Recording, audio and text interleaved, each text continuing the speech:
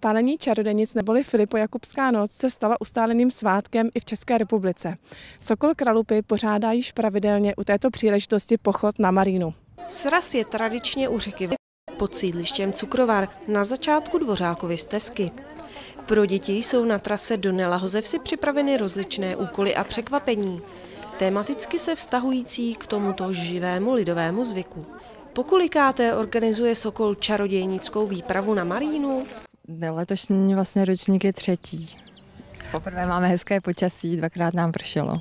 To jsem se právě chtěla zeptat, jak jste spokojeni s letošním počasím? Máme krásně, tak doufám, že přijde hodně dětí. A hodně dětí opravdu přišlo.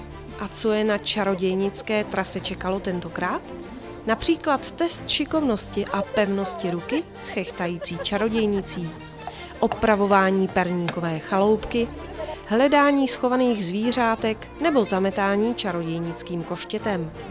Na každé zastávce děti přivítala krásná, pokud se to tak dá o strašidelné postavě vůbec říci, čarodějnice – která vysvětlila daný úkol. Někdy byla dokonce hodná a rozdala dětem lízátka a bombonky, které se po rozbalení neproměnily v pavouky ani jinou havěť.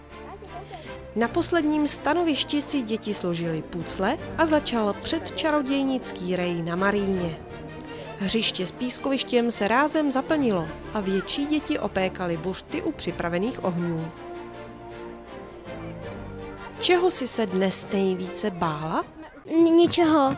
Ničeho. Ani toho pavouka? Uh-uh. Nebála. Co se ti nejvíce líbilo?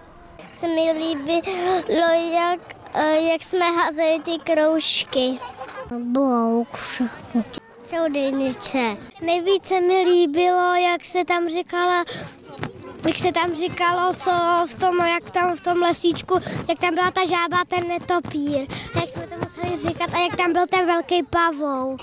Odpoledne bylo zpestřeno možností vyhlídkové plavby na rodí Karína a toho také nejedna malá čarodějnice nebo čaroděj s rodiči využili. Máme za sebou další vydařenou sokolskou akci. Počasí vyšlo opravdu dokonale a děti si celé odpoledne náramně užili.